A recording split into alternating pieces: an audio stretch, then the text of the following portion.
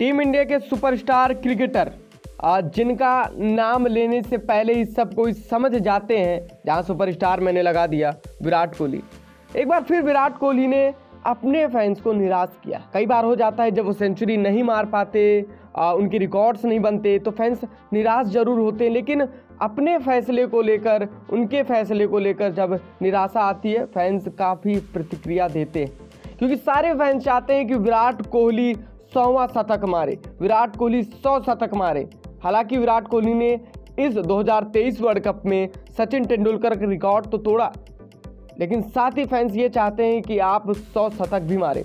तो आइए पूरी जानकारी बताते हैं कि मामला है क्या। टीम इंडिया के सुपरस्टार क्रिकेटर ने ओडीआई और टी क्रिकेट से दूरी बना ली है। मीडिया रिपोर्ट्स के मुताबिक कोहली साउथ अफ्रीका के खिलाफ टी और वनडे सीरीज़ में इंडियन टीम का हिस्सा नहीं होंगे। कोहली ने इसके बारे में बीसीसीआई को सूचित कर दिया है। इंडियन एक्सप्रेस से जुड़े देवेंद्र पांडे की रिपोर्ट के मुताबिक कोहली हालाँकि टेस्ट सीरीज़ में टीम का हिस्सा हो सकते हैं। रिपोर्ट में बीसीसीआई सूत्र के हवाले से लिखा गया कि कोहली ने बोर्ड और सिलेक्टर को सूचित किया है। उन्हें व्हाइट बॉल क्रिकेट से ब्रेक की ज़रूरत है। वो आगे कब सफ़ेद गेंद क्रिकेट खेलना चाहेंगे, ये साफ़ नहीं है। जब भी उन्हें खेलना होगा, वो इसके बारे में बोर्ड और सेलेक्टर्स को सूचित कर देंगे।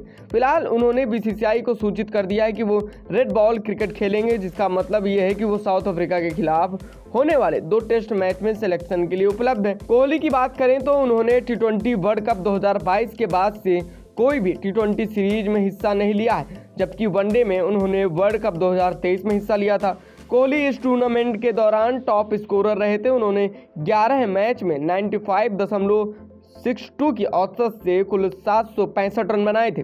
वर्ल्ड कप में कोहली ने सचिन तेंदुलकर का रिकॉर्ड तोड़ते हुए वनडे में पचासवां शतक लगाया।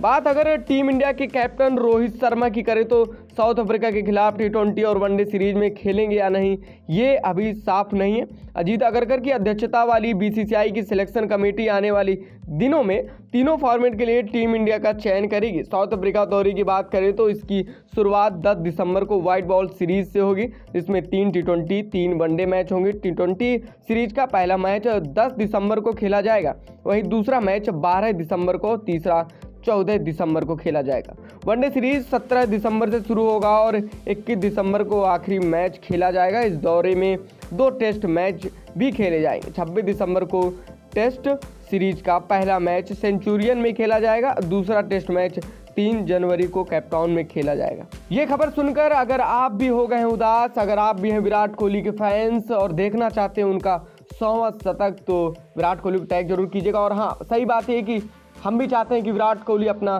सौवा शतक पूरा करें। अगर आप भी तो कमेंट बॉक्स में ज़रूर बताइएगा और चैनल को सब्सक्राइब ज़रूर कीजिएगा।